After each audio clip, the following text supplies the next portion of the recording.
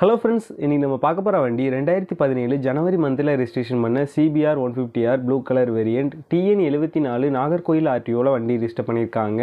வண்டியோட number of owner பார்த்தீங்கன்னா single owner கண்டிஷனில் இருக்குது.